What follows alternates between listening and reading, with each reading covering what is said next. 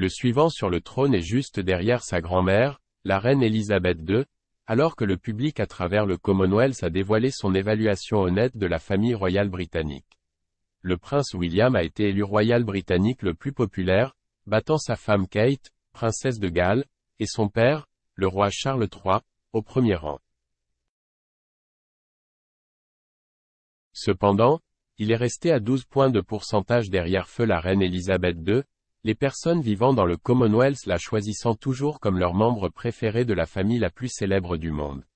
L'augmentation opportune de la popularité de William a précédé le couronnement du roi Charles III le mois dernier, où la question de savoir si certains membres du Commonwealth peuvent ou non suivre les goûts de la Barbade pour que la monarchie ne gouverne pas leur nation est fermement mise au point.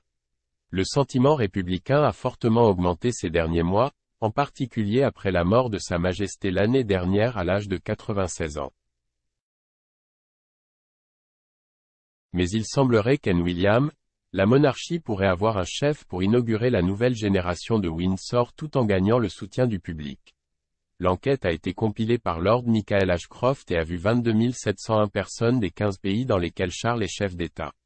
Selon les dossiers, 44 groupes de discussion provenant de divers horizons en Grande-Bretagne et dans les soi-disant royaumes du Commonwealth, Australie, Bahamas, Belize, Canada, Jamaïque, Nouvelle-Zélande, Papouasie-Nouvelle-Guinée et îles Salomon, ont également été consultés.